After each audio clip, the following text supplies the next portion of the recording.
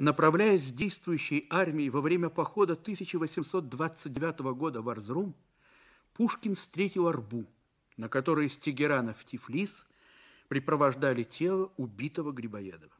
Среди появившихся по этому поводу пушкинских строк есть такие.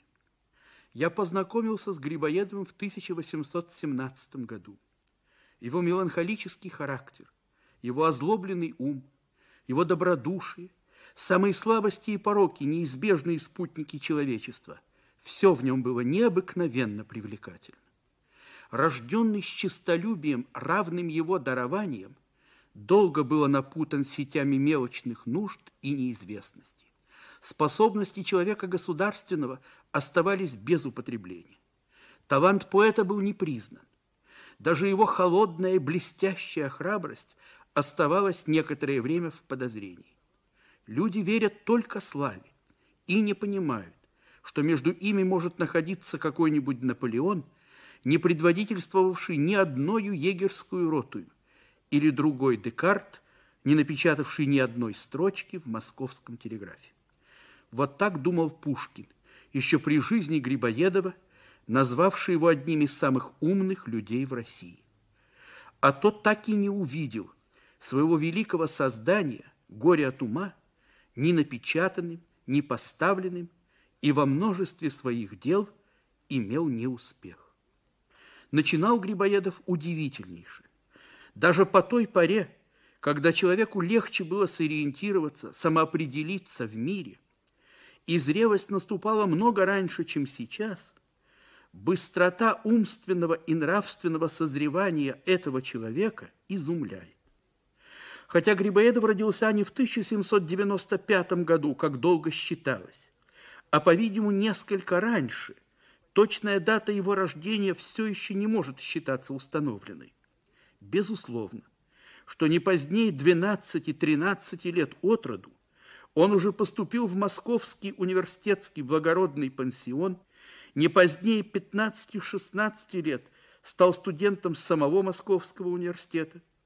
Спустя каких-нибудь два года с отличием сдал экзамен на степень кандидата словесных наук, еще через два года получил степень кандидата прав, а затем занялся изучением математики, естествознания, в это время он уже свободно владел латынью, французским, немецким, английским, итальянским языками. Во всем этом сказывалась необыкновенная энергия овладения жизнью, самого широкого и разностороннего выхода к ней.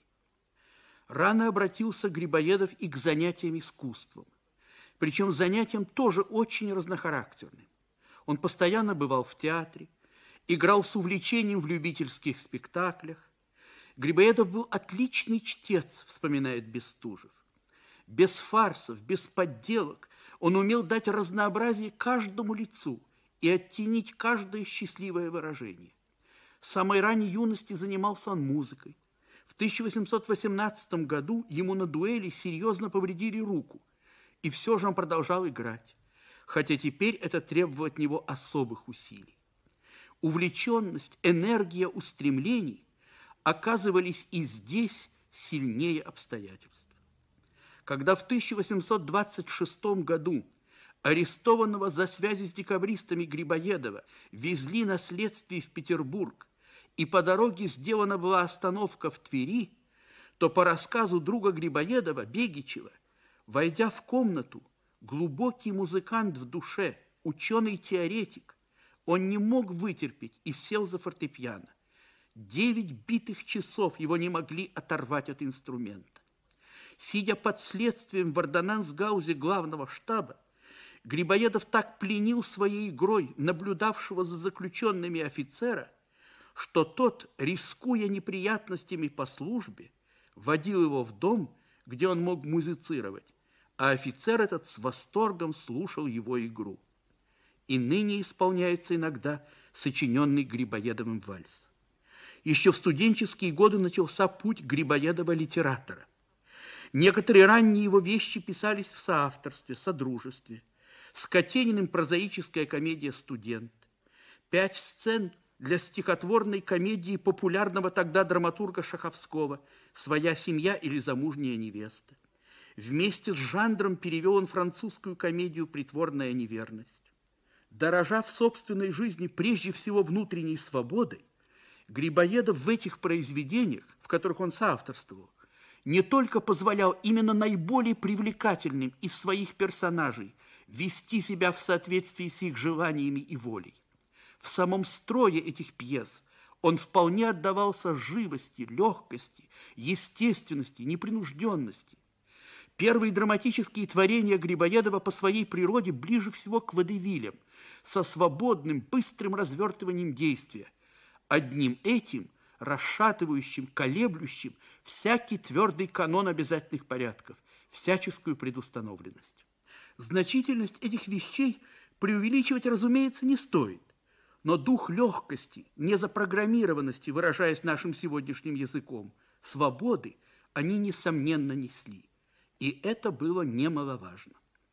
А между тем назревало, складывалось горе от ума. Великая пьеса, где Грибоедов со стороны резко и критически взглянет на сложившиеся нравы, на привычный ход жизни – в старшей по возрасту из русских столиц. Оказалось, что стоит тут появиться свежему, живому человеку, как этот привычный ход жизни тотчас же выставит против него свою плотность, свою слежалость. И вот уже после первой же встречи, после первого же разговора с Чацким, Фамусов садится диктовать Петрушке расписание своих занятий и дел. И эта фамусовская Москва – выстраивает, подымает против носителя новых идей, новых настроений, заведенные свои порядки, их привычность, отверделость и непреложность. Об это-то Чацкий и ударится. Грибоедов слишком хорошо понимал, что одной пылкости, одного свободолюбия совсем недостаточно, чтобы изменить установившийся порядок вещей. И он не мог дать своему Чацкому победы а сам при полном единомыслии с декабристами не разделил их иллюзий и их надежд, почему и не принял непосредственного участия в их действиях. Именно ему приписывается известное горько-ироническое суждение о них. Сто прапорщиков хотят перевернуть политический быт в России. Решительная трезвость взгляда, мужественное всепонимание, определили сложность положения Грибоедова, когда декабристы были разгромлены. Состоя на государственной службе, он оказался теперь в кругу людей, ему совершенно чуждых, стоявших по своему человеческому уровню бесконечно ниже его. Главное дело его жизни, горе от ума, сейчас еще меньше, чем прежде, могло предстать в печати и на сцене уцелевшие единомышленники Грибоедова с недоумением и болью видели его окруженным торжествовавшими властителями режима и не понимали, как это могло так обернуться. Вот об этом последнем и самом горестном в судьбе Грибоедова периоде и рассказывает написанный спустя сто лет после разыгравшихся событий в двадцатых годах нашего уже века – роман Юрия Тынянова «Смерть Вазир Мухтара». Грибоедов тут главное действующее лицо. Ровно за год до своей смерти он привозит в Петербург победный туркманчайский мир с Персией, мир заключением, выгодными условиями которого Россия во многом и многом обязана была именно ему. Но не с одним только этим является Грибоедов издалека – его государственный ум рождает планы глубоких преобразований. В голове его роятся литературные замыслы. Кое-что в черне, в отрывках, в заметках, брульоны уже записано. И вот он в Петербурге, в его честь устраивается обед, где сходятся многие из крупнейших литераторов той поры. Грибоедов – развернул малые и большие, уже истрепавшиеся листки. Листки он исписывал персидскими ночами во время переговоров с Аббасом Мерзой. Тогда под жидким небом, в виду пустыни, войск, в виду цветных окон, русские слова ложились в ряд, как иноземные, и ни одного слова не было лишнего. Эта младенческая, ему одному известная радость давала ему по утрам силу мышц и вежливость разговора. Он был автор. Временный и случайный человек для цифр и городов, записывавшихся в туркманчайский трактат – он был всегда гибок и изворотлив в разговорах и предположениях, потому что всерьез этого ничего не брал, а просто играл в торговую и географическую игру, совсем не похожую на авторство. Это давало ему тогда превосходство. Но разворачивал листки он с некоторой боязнью. Он многое забыл из того, что написал – он читал свои строчки, вспоминал, когда это писал, и обстоятельства оказались далекими. Фадей Булгарин прервал его работу. Увидя Грибоедова за листками, Фадей от почтения заложил руки за спину. «Комедия?» — кивнул он опасливо. «Новая?» «Трагедия», ответил Грибоедов. Новая.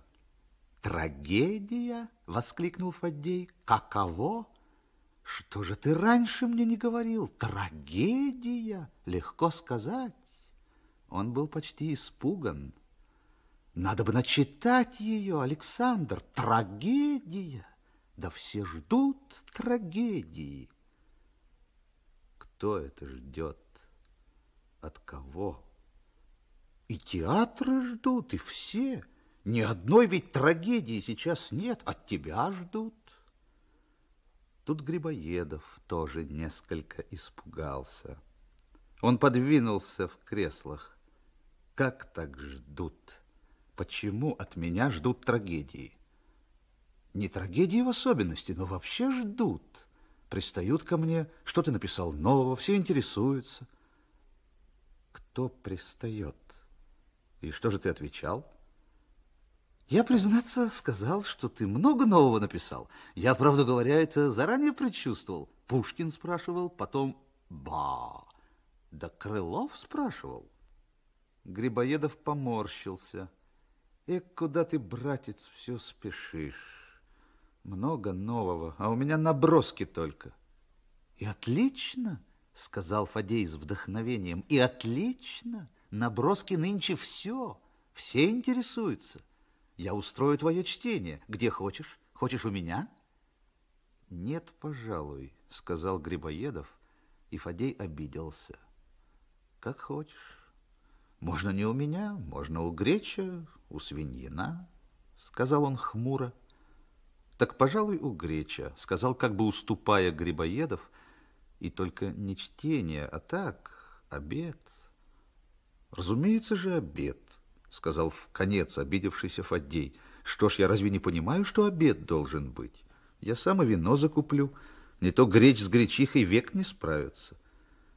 Или знаешь что? Посмотрел на него Грибоедов. Устрой у себя, пожалуй. Только не зови без разбора.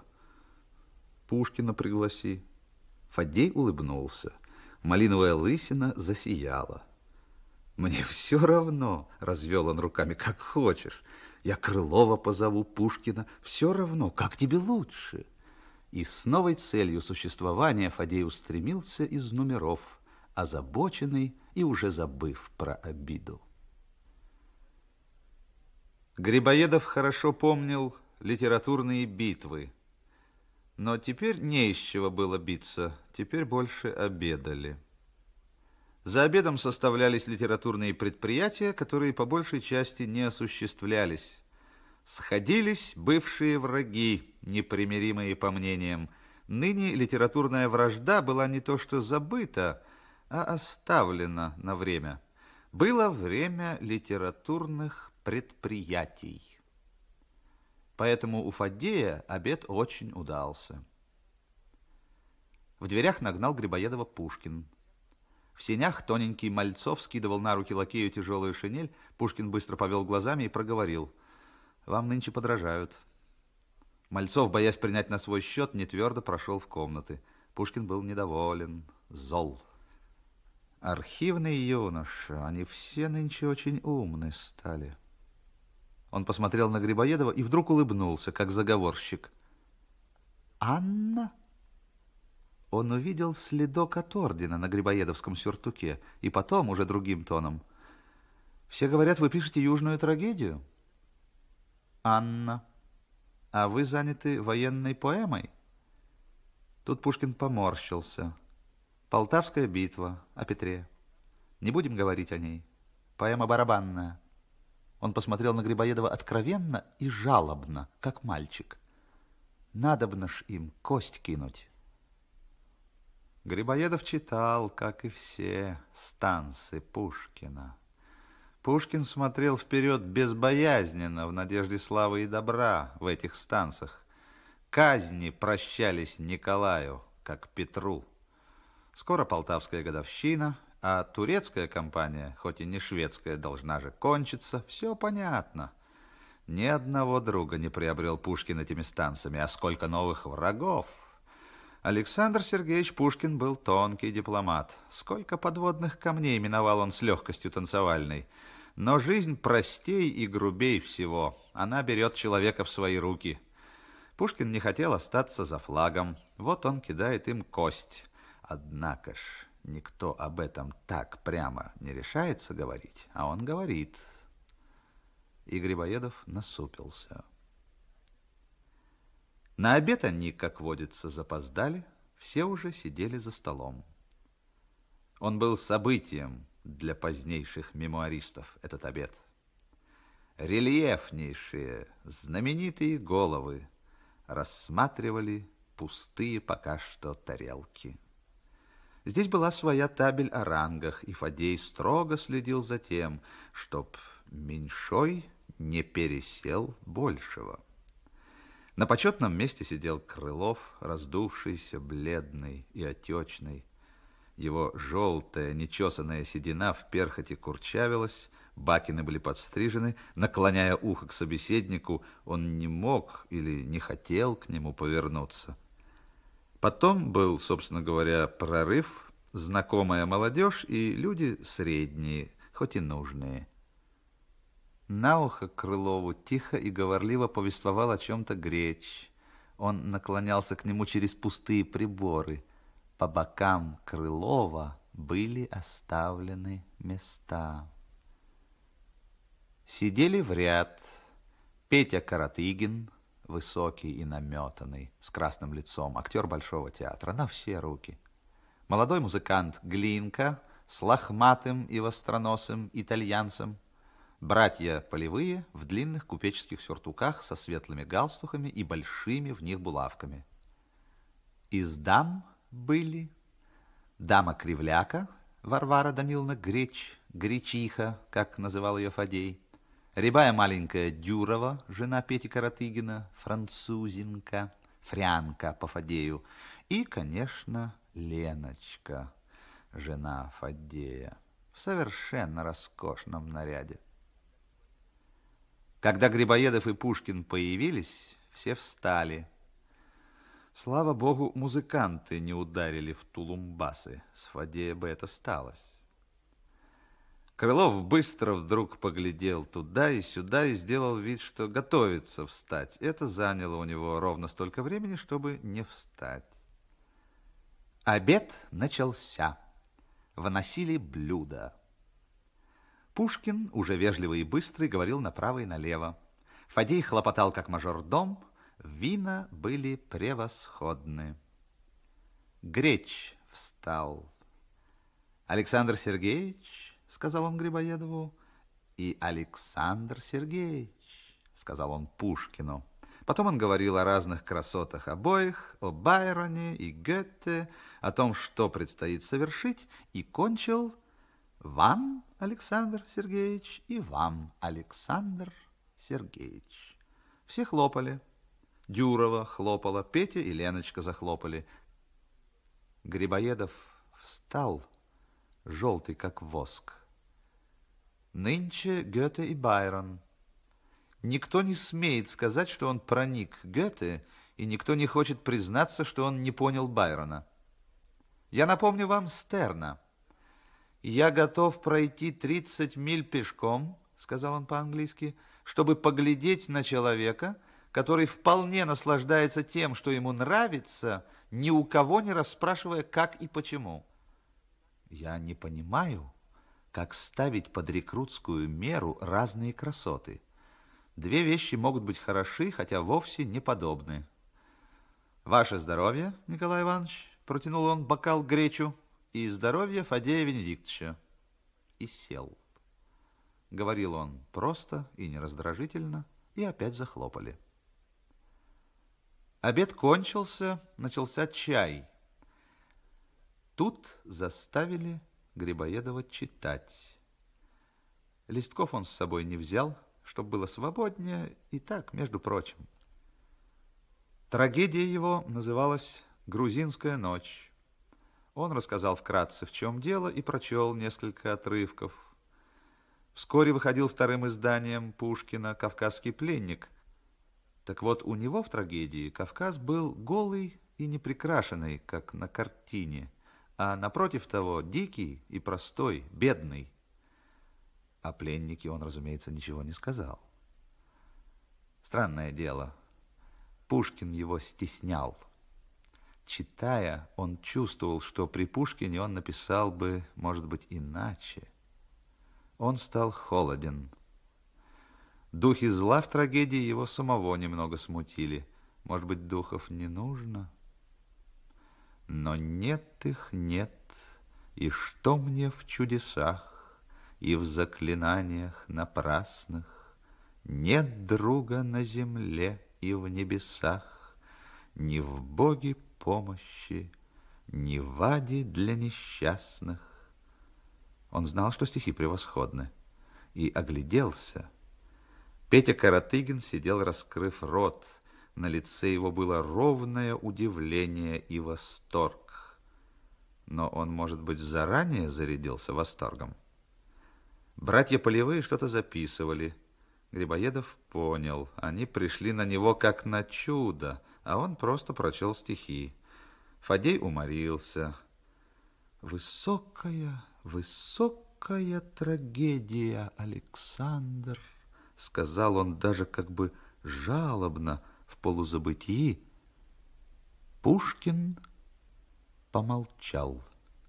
Он соображал, взвешивал, потом кивнул. Это просто почти Библия. Завидую вам. Какой стих! Нет друга на земле и в небесах. Грибоедов поднял взгляд на Крылова, но ничего не сказал Крылов уронивший отечную голову на грудь.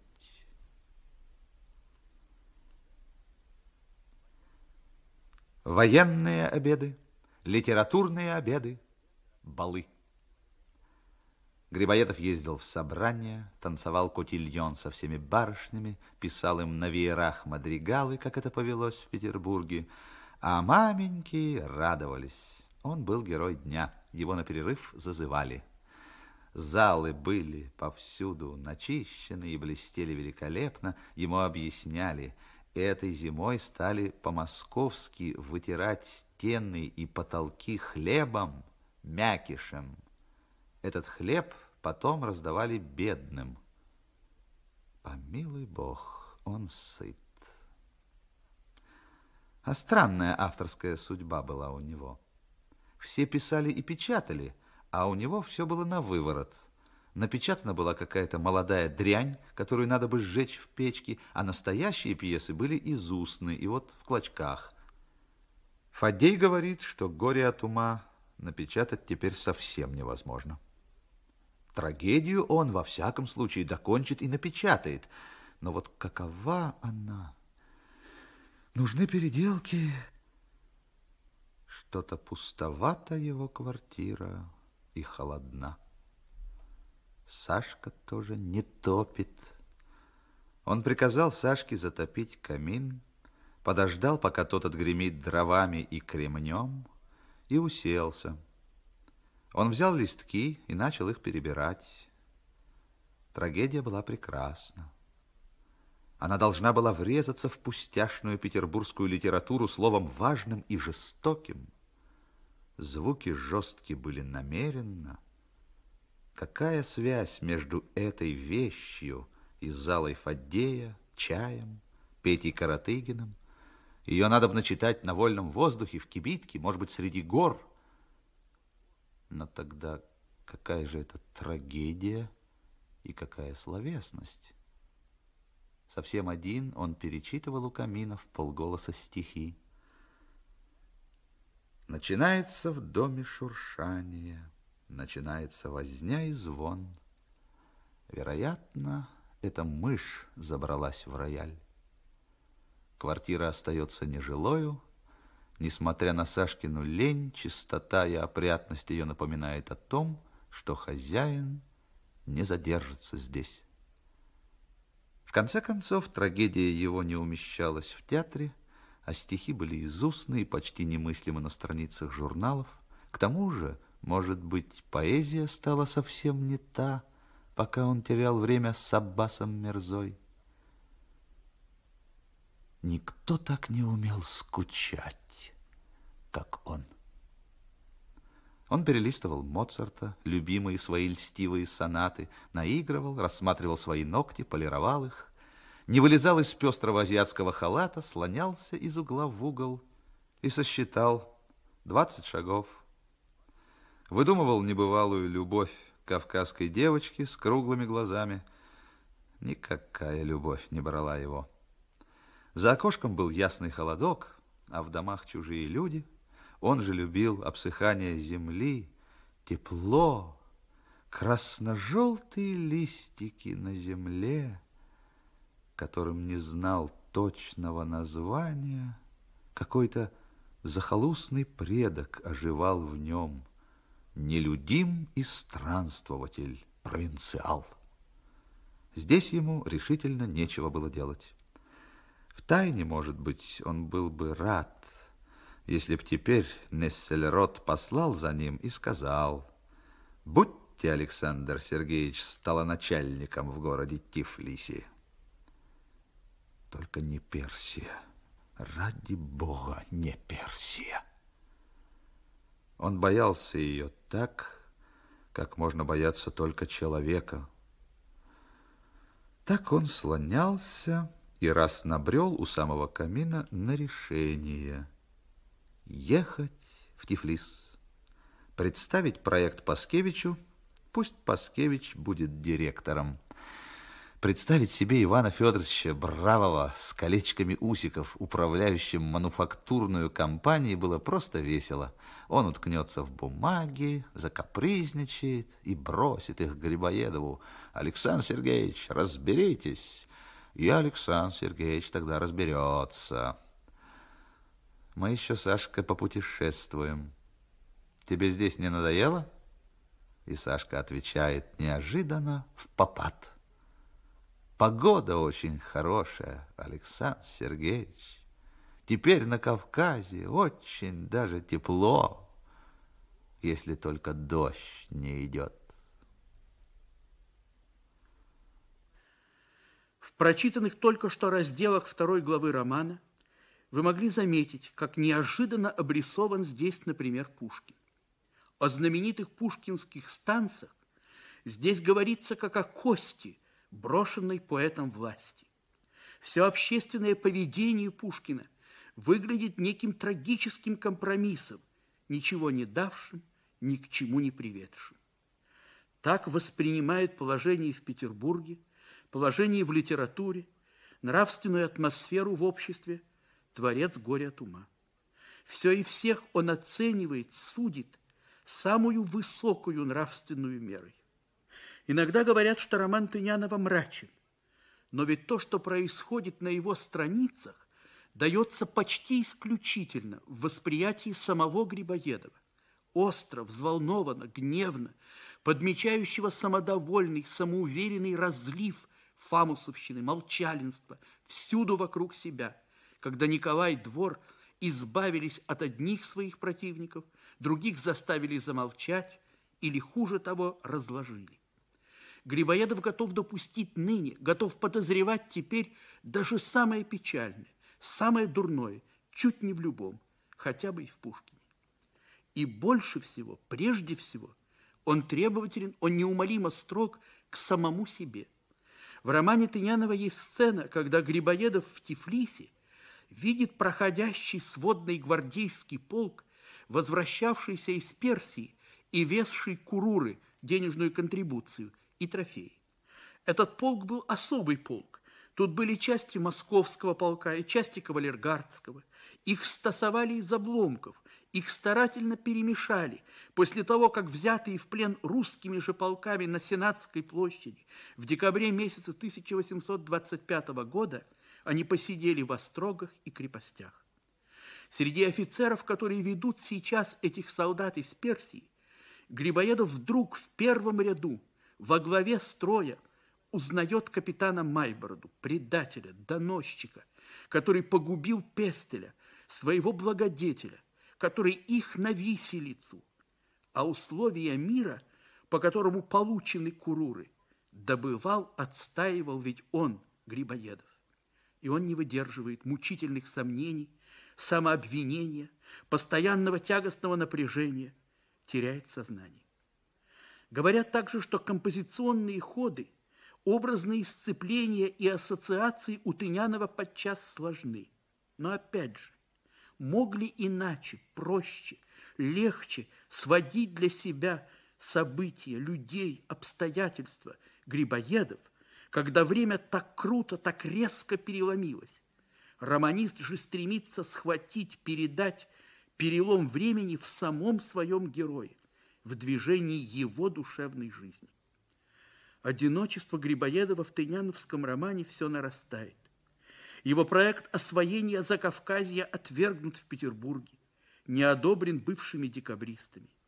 На высоком дипломатическом посту посла Вазир Мухтара он самоотверженно отстаивает интересы России, а русское правительство отступается от него и почти демонстративно прощает его убийство. Валы величаво поднимались в гору. Позади, на высоком берегу, была крепость Гергеры, голая, как гора. Впереди мост, похожий на флейту пана. Быстрая речка играла. Грибоед между двумя мешками приближался к мосту. Верховой в картузе и черной бурке только что переехал мост. Он быстро спускался по отлогой дороге. Поравнявшись с Тахтриваном, он кивнул на ходу проезжающим и быстро спросил по-русски, «Откуда вы?» Аветис Кузинян покивал ему головой и ответил неохотно, «Из Тегерана». «Что везете?» Спросил человек, уже проезжая, и взглядом путешественника посмотрел на мешки и ящик. Грибоеда, кивнул ему равнодушно Аветис. Лошадь быстро несла человека под гору и вдруг затанцевала, остановилась. Человек натянул поводья. Он всматривался в Тахтриван. Валы помахивали хвостами и виден был передний мешок и двое армян, сидевших сзади. Пушкин снял картуз. Смерти не было. Был простой дощатый гроб, который он принял за ящик с плодами. Валы удалялись мерно и медленно. Он поехал, удерживая коня были ощутительны границы опаленной Грузии и свежей Армении. Становилось прохладнее. Лиловые вымена впереди были холмами. Дорога пустой строкой черновика. Река хрипела позади. Жизнь его была затемнена некоторыми облаками. Тучи сгущались, круглые, осязаемые.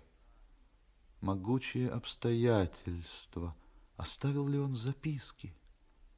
Дождь начал накрапывать, и вдалеке зорница осветила пунктиром зеленые пространства. Он обернулся. Валы были мухами внизу. Темнело, дорога была дурная, и конь устал. Ему нечего было более делать. Смерть его была мгновенна и прекрасна. Он сделал свое, оставил горе от ума. Конь брел, спотыкаясь. «Кляча!» — сказал Пушкин. Затянул ремни у бурки, надел башлык на картуз. Дождь лил. Мгновенно и прекрасно. Поручим себя провидению. Бурка не промокнет.